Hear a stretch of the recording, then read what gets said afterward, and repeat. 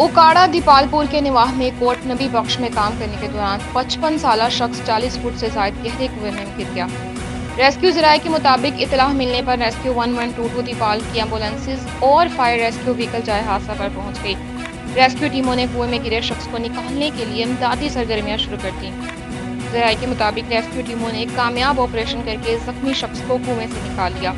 मुतासरा शख्स को मौका पर तिबी अमदाद फराम की गई और बेहतर तिबी अमदाद के लिए हस्पताल मुंतिल कर दिया गया, जहाँ मरीज़ जख्मों की ताप ना लाते हुए जाम